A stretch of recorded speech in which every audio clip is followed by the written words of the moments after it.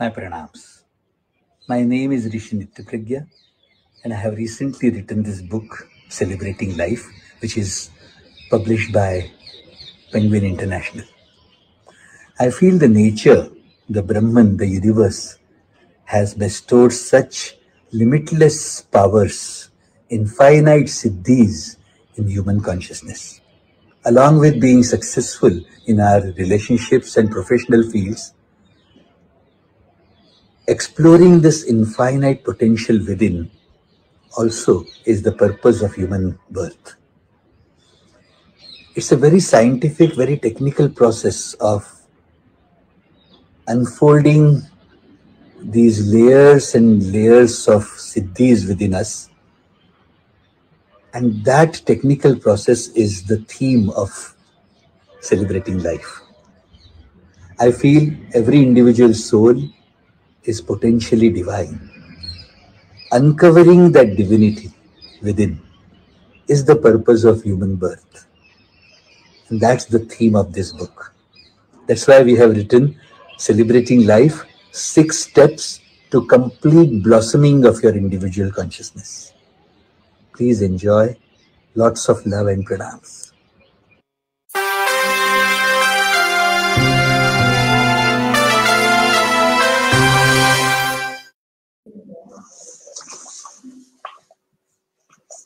Welcome back to Studio One. We begin the session, Gurus, Heroes, and Villains, with our respected panel of speakers. Our first speaker for today is Manveena Sandhu. She's based in Toronto, Canada. She has been closely following the Bhagwan Rajneesh movement for the past 25 years. And her book, Nothing is a result of the intent and much views and in addition to being a writer she works as an addictions counselor in canada. Our second speaker is Faisal Alkazi sir. He's a renowned theatre director founder of the ruchika theatre group. He has also written his father ibrahim Alkazi's memoirs to be published in december and the stage the Alkazi Padamsee family memoir Faisal's warm, witty, and intimate anecdotes make it an unput and downable story as well. He participates in dramatized readings and discussions on contemporary theatre. Our moderator for this session is Ms. Sutapa Basu. She is a best-selling author, a poet, author, publisher, professional, and her short stories have appeared in various anthologies like Crossed and Knotted, Defiant Dreams, When They Spoke, and write India stories. Her latest book, The Curse of Nadir Shah, won the Best Fiction Award at Author Awards. Her debut, a psychological thriller, Dangle, was nominated for the PILF Anupam Kher Award for debut novels in, in 2017. And now request Sutapa Basu ma'am to take the session forward. Thank you, Dheeraj. I welcome you all to this session of PILF 2020 entitled Gurus, Villains, and Heroes. Hi, Faisal. Faisal Alkazi is the author of not yet released but much awaited Enter Stage Right Memoirs of the Padamsee and Alkazi family. Hi, Manveena. Hello. Manveena Sandhu has authored Nothing to Lose, a biography of Ma Anand Sheela, whose life story has intrigued the world. And I'm Sutapa Basu. I'm an author, poet, and I write also historical biographies. Some of them are Padmavati, The Legend of Genghis Khan, and The Curse of Nadir Shah. Now, we have all been brought together because we have written biographies. Though, and what is a biography? A biography is actually telling history in a very special way. But the difference is here, it is usually based on the events of one person's life. Now, biographies can be academic, where the author is very strict about facts and dates. They can be entertaining, where there's a mixture of facts and fiction, and they can be motivational. I think Manbina's is motivational as well. So these, so these are the yeah. So these are the different kinds of biographies, and we've been brought under this uh, very intriguing title: uh, gurus, villains, and heroes. Now, I wonder is it because our protagonists or our protagonist is a little bit of each, you know, a bit of hero, a bit of a villain, and a bit of a guru? While my protagonists can be called that because both Nadir Shah and Genghis Khan, their war strategies are still being studied in military archives. They have been vilified for their bloody massacres, and yet large masses of people all over the world, even today, venerate them. So, what about your protagonists and or protagonist? Are there also bit hero, bit villain, and bit guru? Faisal, shall we go with you first? That's a great one to ask, Sutapa. Uh, I think because uh, it's tough because it's about my father. So to use the word villain is a very tough one. I don't think he fits the bill I'm at sure all. it wasn't. uh, certainly, certainly Guru. I think that's a wonderful word to use for him, and he's known as theatre guru by so many people uh, in the theatre and cinema world in that kind of way. And hero, of course, to many, many people, the hero. But I think to the child of anyone, uh, the parent is very rarely the hero. You know what I mean? Uh, we see them in the parents. so we see all the other dimensions of the person. We don't only see them in relation to their work or their achievements. We see them in other very emotional, perhaps, kind of terms. Uh, so I'm happy with the hero and I'm happy with the guru. I will definitely discard the villain. okay. Great. Manbina, what about you? Um, as for me, uh, my belief is that every human being on earth has shades of goodness and malice we all have those um, uh, uh, you know dark and light shades. We're all made of these uh, you know we all have lust anger greed attachment ego to some degree in uh, in each form. So um, uh, when i see as for myself and everybody else out there uh, i believe my protagonist is no exception and she has these different shades to her personality and different roles come out at different points right? If you see the um, documentary wild wild country there are a lot of people who do have things to say which are not very uh, you know very good about her. So well uh, yeah, you can yeah, no, say yeah yeah there are things that as for um, you know when you talk of a guru yes i can say i see a lot of guru in her and that right. i can talk out of my own personal experience from the time that i've known her um, as we see her now her actions speak louder than her words and uh, of course though her words are very potent and um, keeping in mind the time that i spent with her in switzerland um, i saw her taking care of her patients so tenderly and she did everything so and everything was so meticulously around, uh, arranged in a care home that I could glimpse the Sheila of the yesteryears who had right. at one point uh, built the Red City and, and had run it. So her Absolutely. inner strength stays the same. And um, there's a lot we can learn from her life and she imparts wisdom uh, very casually as she goes about her day if we have the eyes to see and the heart to feel. So so yes i see a lot of guru in her. Uh, and as for the villain i would say that uh, a lot depends on the eye of the beholder. You know um, that uh, um, you know life sometimes puts us in situations where we are forced to make those moves uh, that we normally wouldn't it is the pressure of the situation, the circumstance, that we tend to uh, we tend to make those moves that fall in the gray area, and we cannot necessarily categorize them or as right or wrong. And I believe that Ma Sheila was put in that spot several times as a Bhagwan secretary, where she had to make those moves that couldn't be categorized as right or wrong or black or white. A lot of them fell in the gray area. So um, uh, it also depends upon the perception of the person who's viewing her. If you want to uh, label her as a villain, it, uh, I think a lot depends upon your own perception as well. And hero she certainly is because uh, you know she fended for her uh, Bhagwan and stood by his side and built a castle and stood on the gates of it, and she did not care about anybody's opinion and did what she had to do uh, to serve her master. So um, yeah, she's heroic in every term. So she has a bit of everything, uh, you know, different shades to her personalities, is what I believe. Great. You just spoke about perceptions. Now, a family memoir is a little different from the normal biographies because there, perceptions is what actually rules it. Usually, it is a narration which is based on the author's personal memories and it's more it's uh, more uh, uh, more than a literary or an art document it is act it, it's something like that is rather than a personal legacy. It's also the story of the author's heritage that he would have inherited from uh, the past generations of his family. And to this extent the author's voice resonates in a memoir maybe more than the protagonists in it. Also there's another i think something strange that happens. When a person starts recalling all the events that happened in the past, he or she might stumble upon something that has had a great influence on his own life.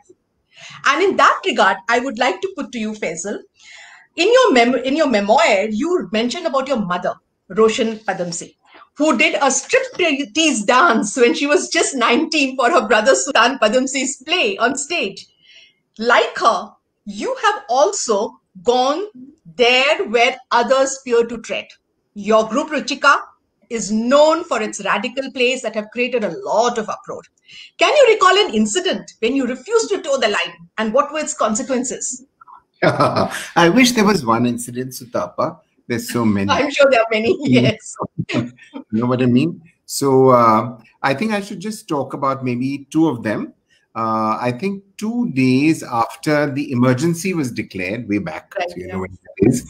Yeah. so we were rehearsing. We were rehearsing a play uh, at that time by an author from uh, Poland, uh, Slawomir Mrożek, called Striptease, and we did that mm-hmm. to uh, Hindi. And we had mm-hmm. Alok Nath, who used to act with me forever. Now, of course, vilified by me too in a great way. And uh, Sanjeev Bhargav is the protagonist.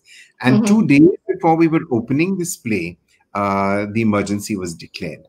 So we went ahead with our shows as we've always done. And uh, the play is so interesting. It's two men pushed into a room. Uh, you don't know by whom. And they're not allowed to leave at all. And from the setting, only a woman's hand emerges, a bit too much like the Congress symbol of that time, and starts giving instructions of what to do. So okay. first, they to their underwear, then they get handcuffed together. Then dunce caps are put onto their head. And all the time they say, We are free, we are free. It's wonderful. It's kind of an intellectual exercise by them that how free they are and how many things they can actually do. When actually there's none of this possible for them at all. So I think that play within the second show of it, and the police had come in and said, Well, you're not allowed to do any more shows of this. And I remember a similar thing in 1980 when we were doing the so first. Did you stop? So did you stop the play? Uh, we stopped doing the shows, but I would share another incident a little bit later. Uh, a colleague of mine in the group was doing this play about the assassination of uh, Bhutto, Zulfikar Ali Bhutto. And amazingly, the day we were opening, premiering the play in Delhi, uh, it was the play, the lead was being played by Rajesh Khattar, who's Ishaan Khatter's father. Ishan is now so famous because of his lead in The Suitable Boy. And yes. uh, just the day before the show, the government announced that Ziaul Haq was coming to Delhi. And Ziaul oh. Haq is the complete villain of the piece because he right. was so much behind Zulfikar's uh, assassination. Mm. And uh, we decided to go ahead with the shows. And then the Delhi government just didn't know what to do. They had their own spies at the theater where we were performing, and they tipped off the police. The police refused to give us permission, uh, not on the grounds of the script, but just on the grounds of some particular paper from the Entertainment Tax Commissioner had not come in time.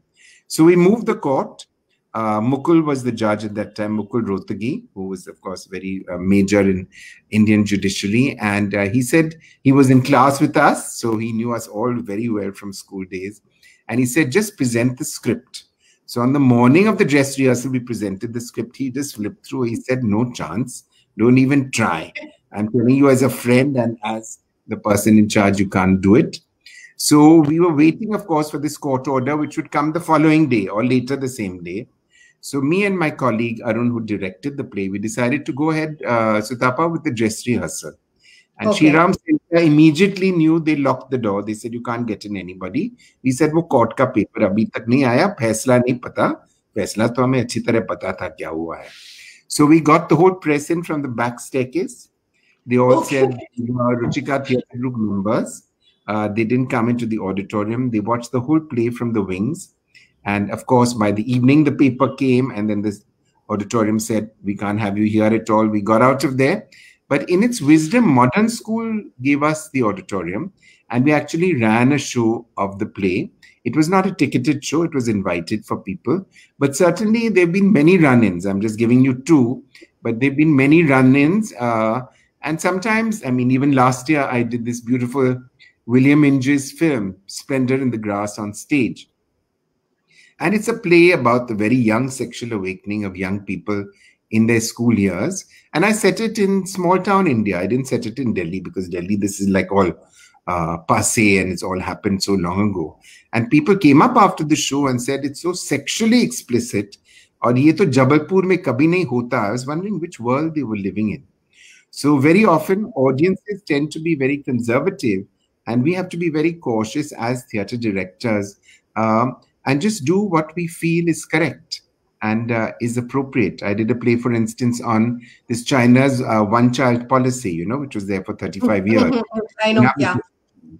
So I did a play called The Dark Road, based, uh, based on the on a novel by a dissident writer, uh, and we did the play at India International Center because very often my very offbeat ones go on at IIC, and I don't think IIC was very happy hosting a play on this very draconian policy of the Chinese, which was news everywhere. But uh, they were not happy having the situation shown on stage of these family planning officials. And actually, what they used to do in China is they used to inject uh, distemper into the woman's uterus and abort the child. And then you were not allowed to even uh, cremate the child or bury the child. They would not give you the fetus at all. So it's a very it's a very disturbing play because the whole mm-hmm. play is about family planning refugees. You know what I mean? Running mm-hmm. away from the war. Mm-hmm. Therefore, in in uh, China for 35 years, it's been repealed only uh, much more recently in 15 2015 from 80 to 2015 each family could only have one child and as in india they were choosing mm. the boy mm. the whole oh. generation with much with millions of less women than men yeah so I'm radical, continue to be. The new one we are rehearsing, which is shut down with lockdown, but we'll open it once we're through, is set in a brothel in Chhattisgarh, okay. Uh, okay. which is presented by all sides of the conflict because all men are driven by certain parts of their anatomy. Mm, mm, mm, and it's an adaptation of an American play. Uh, so I've got my back covered. It's Lynn Nottage's uh, play which uh, I've uh, called Ruined. We're doing it in Hindi called Barbad, but it's fitting. India, Chhattisgarh, brothel. Ah, yeah, and, you know, absolutely. Nice area. It's also with the police on one side, it's the Adivasi on the other side. So let's see what people have to say. We're, we're ready for it. and we are waiting for it. We are waiting of for it. Of course, of course. We're always waiting for Abhi kya karega? yeah. So just like Faisal's voice comes across so strongly in his uh, plays and in uh, his decisions that he takes about theater. So uh, you know when uh, you when I was writing my historical biographies, uh, they were see all these people are historical figures whose stories are already archived. So mm. I had to do it from a certain point of narration, and therefore mm. again here instead you know mostly biographies what happens is the person who's writing the biography subdues mm. his or her voice so that the hmm. voice of the person who's being biographed comes across. But in hmm. my biographies, it is my POV which is coming across very, very strongly because it's my point of narration as far as that historical figure is concerned. Now, Manbina, my next question goes to you. Though you have written about Ma Anand Sheela, and she is very, very prominent and dominant in the book. There is there are certain places where somewhere I feel your voice has come through. So let me quote: "The master had lost his way, and now where would the disciple go?" This is from your book, and I feel that's your voice. So could you elaborate on that statement? Uh, no, I wouldn't say it was my voice. It was uh, in reference to uh, the point where Ma Sheela finds herself in jail after all that she had done for her beloved Bhagwan. So this was mm-hmm. in reference to that point.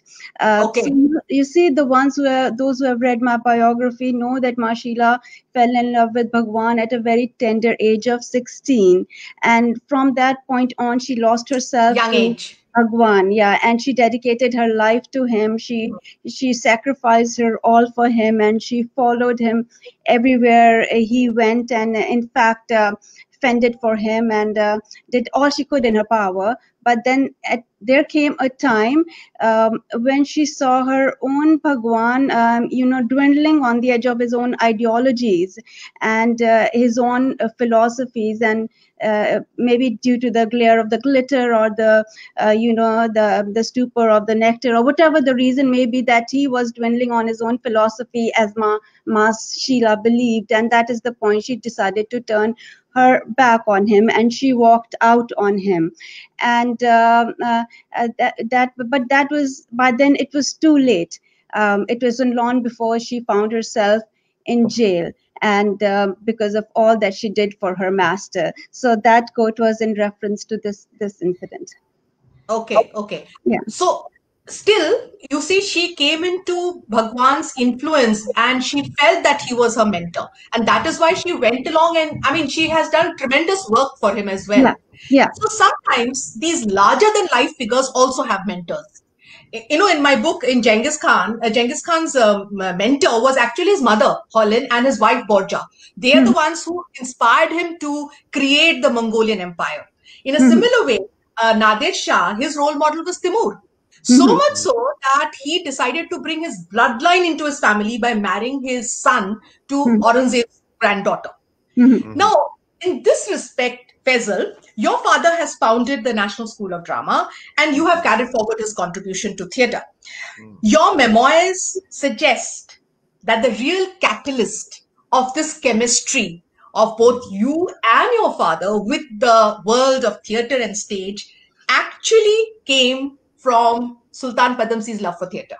Mm-hmm. So, do you tell me if this, this congruence with the stage and this extensive Alkazi um, beneficence would it have taken place if your father had not met Sultan Padamsee? I think it's a great question. It's that million dollar question which we never know how to answer. Let me put it like that. Yeah, but I think uh, sometimes it's a kind of uh, way that people come together, Sutapa, uh, over yes. many years and I think it was a moment in Indian history just before independence where many artists were looking for what is the way forward? What mm-hmm. are they mm-hmm. going to do, whether in painting or in sculpture? And we know so many people from Ram Kinkar Baij to so yes. many people in the IPTA mm-hmm. movement, you know, were asking the same kind of questions. Mm-hmm. So the question I think is very much uh, relevant because my father at that time was in St. Xavier's School. My uncle, Sultan Padamsee, had had to come back directly from Oxford. He was too young for Oxford. So actually, when he went to England, he had to hang around for a year in a school where he'd already finished his senior Cambridge. But because of yeah, he was a genius. I think from what you have written about. He was a genius in in many aspects. Wonderful painter, a great poet, and of course, very major in the theater scene as well. And academically, very, very gifted. You know, in 1938, uh, 39, for a 15 year old boy to get into Oxford was a very, very big achievement. Absolutely, yes. So what he did was uh, he was very keen to do the kind of stuff that he did, and luckily he had around him a group of kind of, should one say, almost uh, blind followers. Kind of, he was very charismatic as a person, and uh, he was back uh, in India. He was at Xavier's and studying there, a big change from being in Oxford. And then, uh, as a second play at Xavier's, I'd love to share with you because I've not done it in detail in the book. Uh, he did Othello, but he did it backwards. So he took okay. Shakespeare's Othello and he started with the murder of Desdemona. That was the opening scene of the play was Othello murdering Desdemona. And then it was all as a flashback. The story okay. came as a flashback. That's and already really different. Bombay, this was in 1942. People in Imagine. Bombay were hunted कि Shakespeare के साथ ये कर दिया you know what i mean i know now we've got used to it with i think with vishal's films and with so many yes. other things we've got yes. used to the idea of that we can do so many things with shakespeare and play around with the themes play around with the gender of the protagonists i've seen taming of the shrew with the switch cast with women playing the men and men playing the women but that's now and then in 43 when he chose to do oscar wilde's salome which was the play uh, that he chose to do, the college said, definitely not get out. Get out of this college and do whatever you want outside in Bombay. So you had to look for a theater space. There were many, but there were those huge, huge British auditoriums that were there, which had been populated by the Parsi theater companies. So he chose a marriage destination, this Cowasji Jehangir Hall, which is now NGMA Bombay, you know, that okay. kind of structure, and did the play. Mm-hmm. And of course, with him went all the people from uh, St. Xavier's College, and among them my father. My father was all of 18. And uh, my father was inducted into this huge, very westernized uh, Padamsee family. And you know, uh, my uncle, of course, is Alec, who passed away a couple of years ago. Again, a very big uh, theater director in his own right. And uh, so from there, everybody in that family uh, was a part of it. Uh, Sultan himself committed suicide soon after, just before independence. And three sisters of the family, my mother Roshan and her two sisters Zarina and Shiraz, also married people from the theater group. So the theater group was very much a family enterprise. And I think if my father had not met them, I'm not sure he would have gone into theater because he was actually Sutapa very keen on painting. Yes, yes, I know. There's so much about him. And when he went to England, he actually went to study art. And then the course that he was doing was so miserable that he was just walking past uh, RADA, Royal Academy of Dramatic Arts, and he said, Let's try this because I've acted so much in Bombay. And he walked in and they heard his voice and what he'd done. And in, in India, they immediately gave him a scholarship and said that you're on. But even at RADA, he found the course very wanting. Uh, because it was dated. Anybody who teaches in a drama school tends to be 10 years uh, before everything. And theater changed so much in England and in Europe during World War II. So he got into a big course of self study. And I think the wonderful part was, uh, Sutapa, that when he was there in England, literally his bed mate, they slept in the same double bed, was Nissim Ezekiel, the big mm-hmm. Indian okay. poet. And yeah. Uh, yeah, the great friend staying with them was uh, Francis Newton Souza. So you can imagine these three Indians, one an artist, one a poet, one a theater person, and my mother was there as a costume designer. Uh, they were so immersed in what was happening and the churn in the arts after World War II.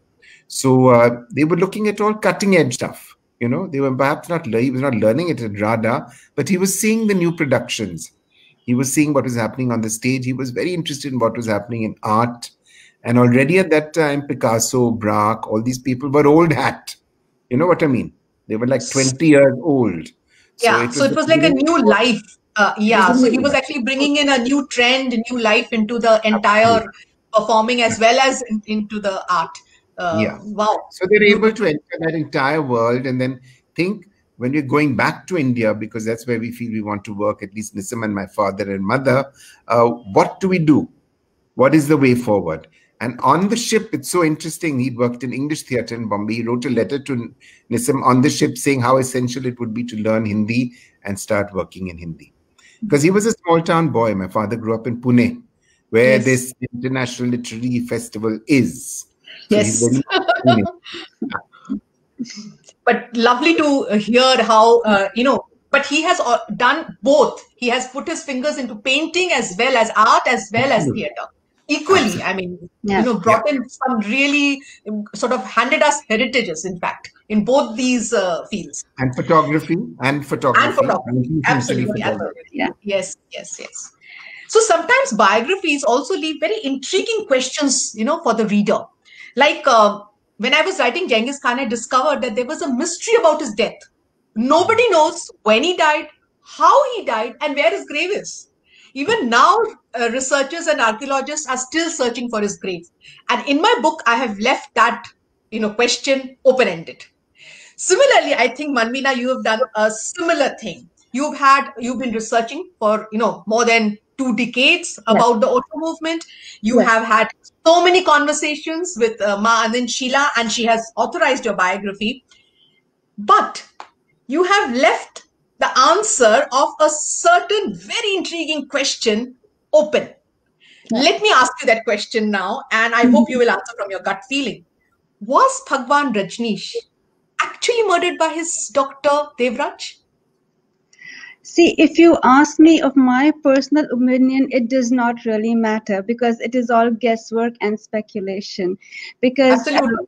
Yeah, because when I wrote uh, the biography, as Ma Sheela narrated, uh, she told me everything off from her own memory as she remembers uh, things, and uh, it is so difficult to remember everything absolutely as it was. So uh, you know, it was her her her her story that she and I wrote down whatever I I felt that she was um, you know so when the reader comes across reads it it is as it is as it came from her to me and uh, But there is an insinuation that they, Yeah. that is there. yeah You will yeah. agree. Yeah. Yes. So, uh, as per Ma Sheela, uh, she believes that Bhagwan did not uh, die of natural causes. And she believes that because um, she is so deeply, her belief is that she's so deeply connected uh, with Bhagwan Rajneesh that if he had died of natural causes, she would have felt something. But because she Oh. did not feel anything, she, did, she feels that uh, it is her intuition that she believed that he did not die of natural causes.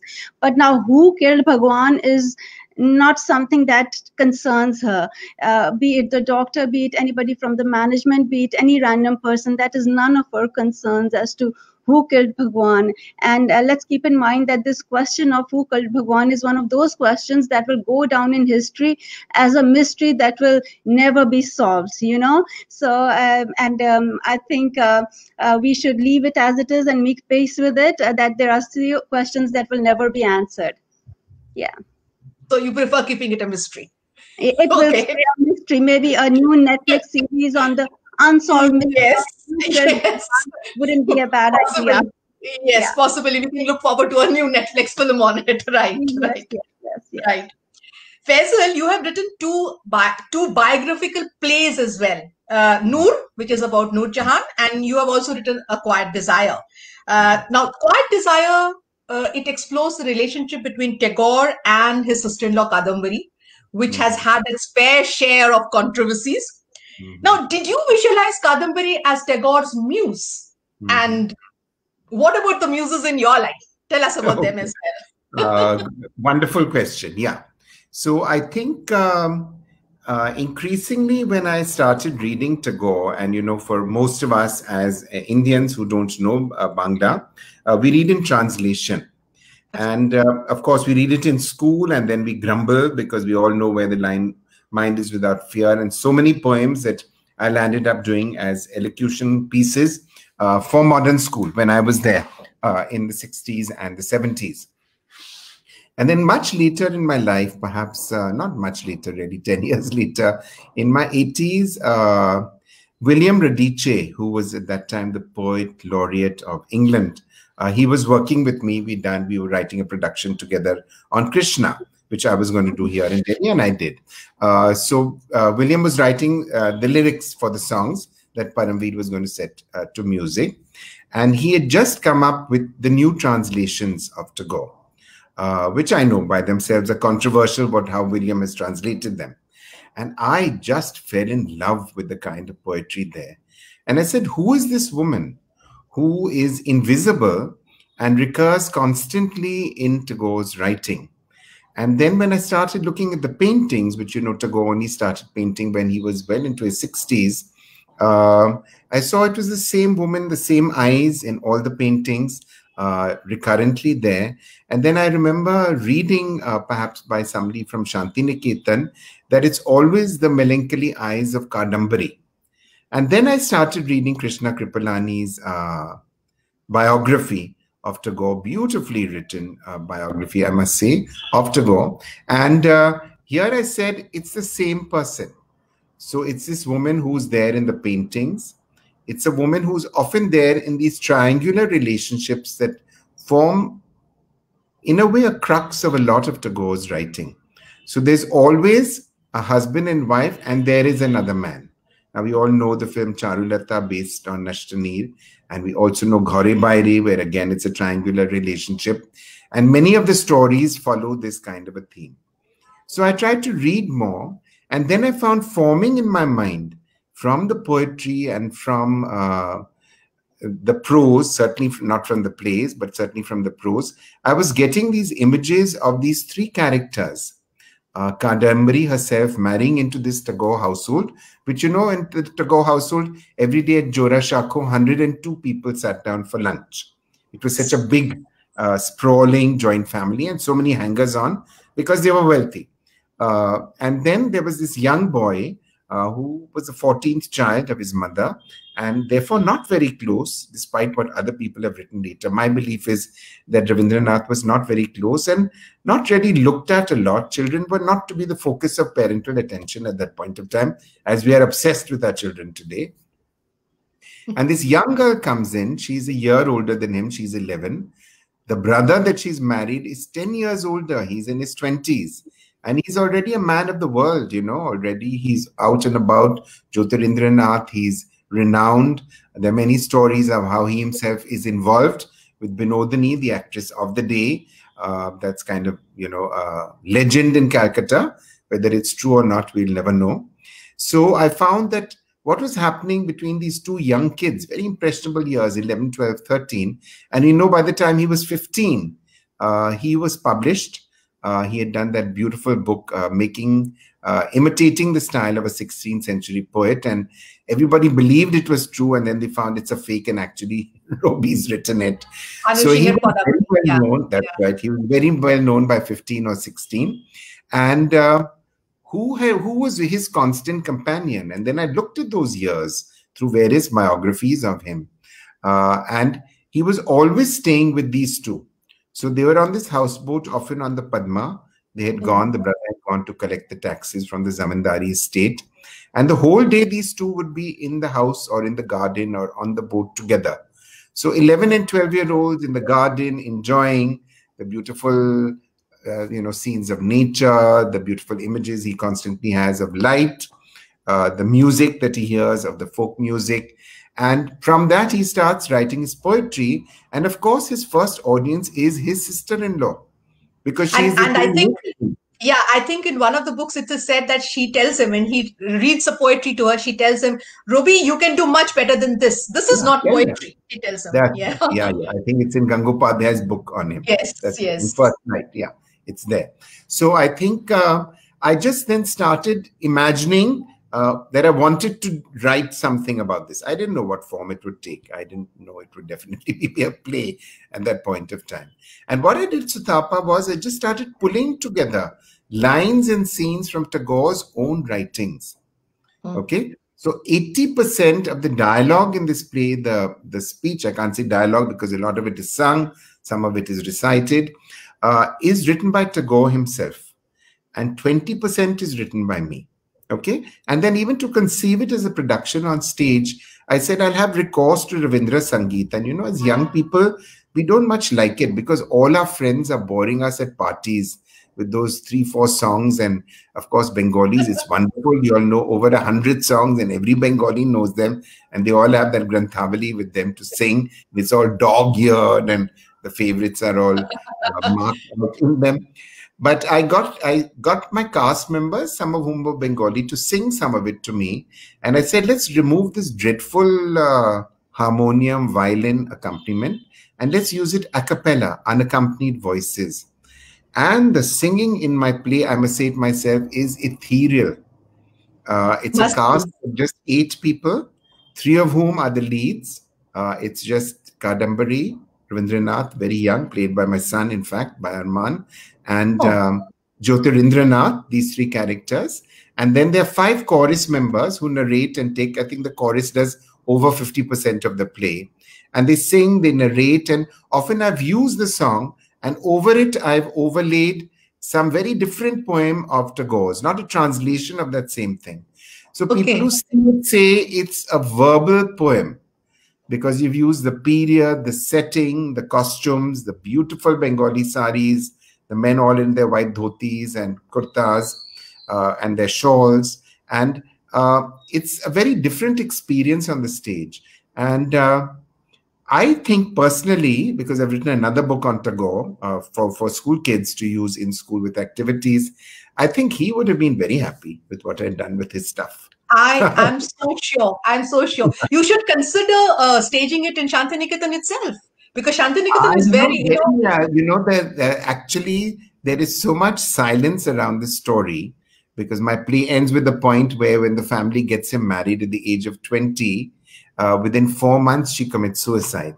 And of course now i know that film has been made. Uh, i wish it was a better film personally. Yes. uh, uh, with Konkona playing the role because Konkona is way too old to play the very young Kadambari, you know, vivacious. She dies at what, at 21?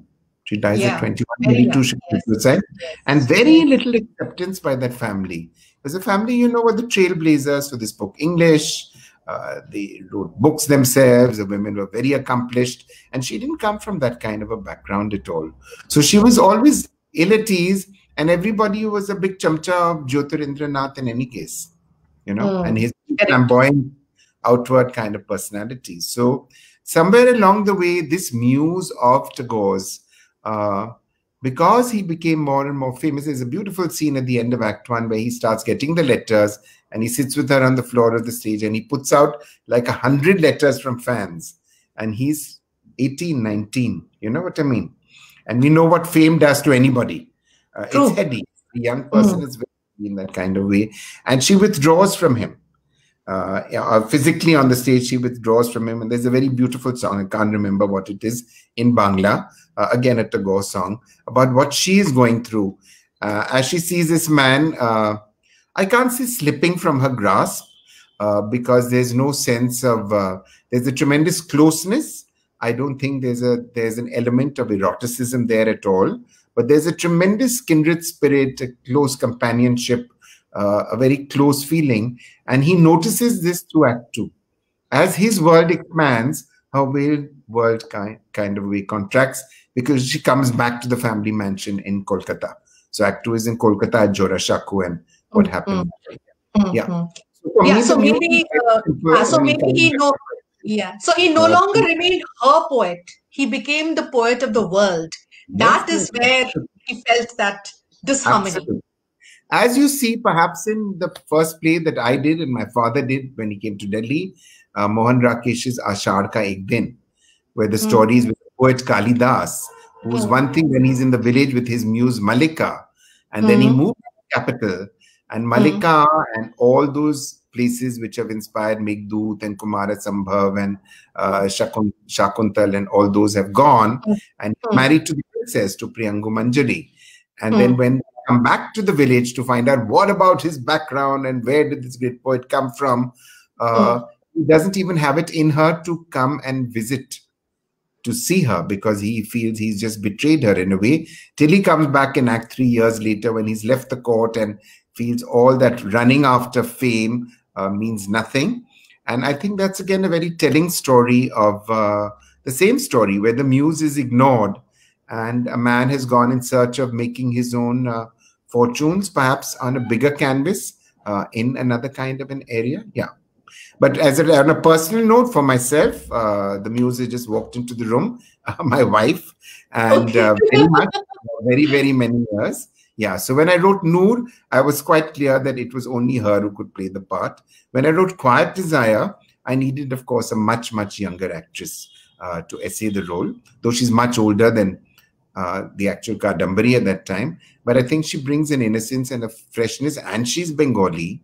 So that helps on the stage. Lovely, lovely.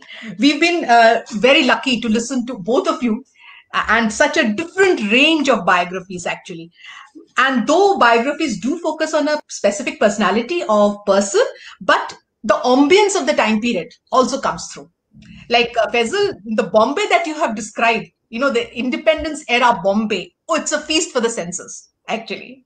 And Thank you. similarly, Manveena, your book is about the Osho movement, you know, which actually was a very, very important part of the social fabric in the 70s, you know, India in the 70s.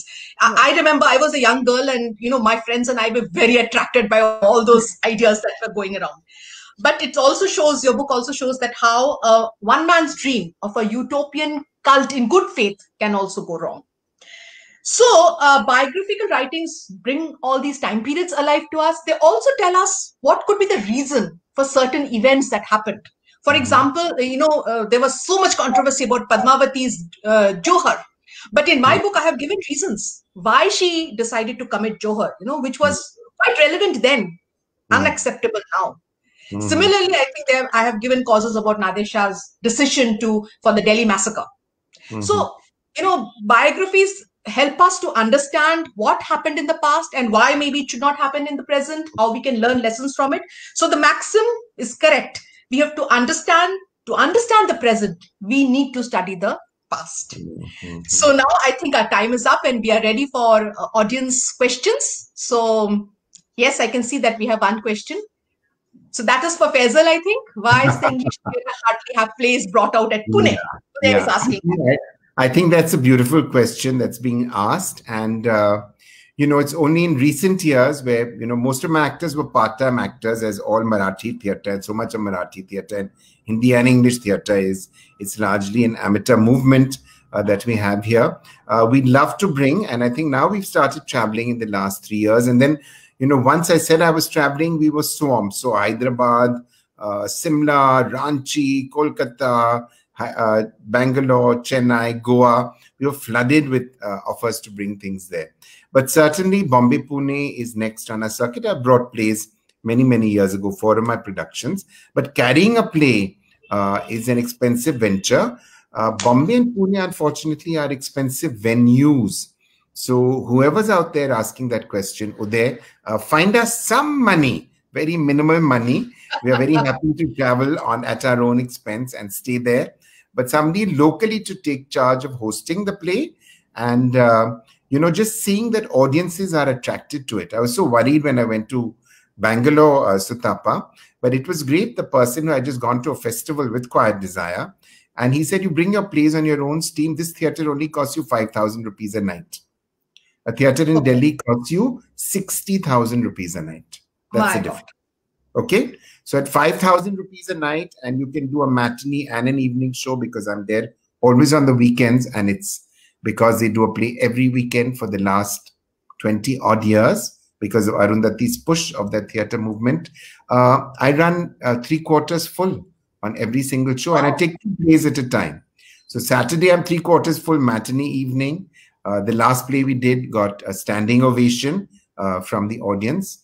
So it's interesting to see actually uh, that's the reality, and we'd love to come to Pune. We are all set. Our bags are packed.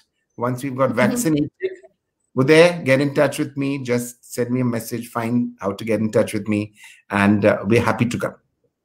And my request is Kolkata and Shantiniketan. It Yes, Kolkata Kolkata be will be Shantiniketan will be Earlier without this any year, I was you will there with not the be anything.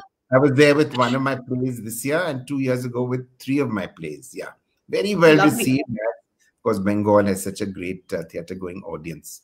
Yeah, that's we love we- theatre. yes, yes. So there's one more question which has come in. Uh, Okay. yeah, any writing, biography, or otherwise, including academic work, how can it be neutral, unbiased, without some personal inputs of the writer and creator? I think it's a perfect question for Manveena. Bipin, Bipin Chandra Chogle, okay. so Mr. Chogle is given this question. Manveena? yeah I, I feel you have to um, um, i believe that one very important factor while writing is a bi- uh, biography is to stay unbiased because it is very natural for the writer to feel sympathy for the protagonist or to identify with the protagonist but it is very important that we stay apart and see it as a third person's point of view and um, i think that is the um, uh, that's what I did while I was writing this biography. I tried to, I, even though um, uh, you know, I have a, I I, I developed a personal relationship with her, and I developed this, um, uh, you know, um, a, a, wonderful um, relationship that uh, you know we exchanged a lot of things, and there was a lot of warmth. But I tried to stay as unbiased as possible, and that is one thing that comes across from every reader says that you've tried to stay and unbiased and put things as they are in front of the readers. So make your own judgments and make your own conclusions. I will stay out of it. I'm giving you the story from the from the person who has experienced it and, it's for you to conclude and to judge and make your judgment so um, I, I stay out of it so i think it's it is something you have to practice and uh, keep stay very mindful of because it is very easy to get identified and to become biased Lovely. Thank you so much, Manveena. Thank you, uh, Faisal. Thank you, Manveena, for being on this uh, panel. I think it has been a very, very riveting and interesting panel. Thank you, uh, Pune International Literary Festival. And thank you, the audience. Thank you very much. Please thank take care. So Have a good day. Thank you. Thank you. Thank you. Thank you so much for this interesting and insightful session. Next up, we have Fem Power behind the scenes and screens after a very short break. Join us at 12:30 p.m. for the same.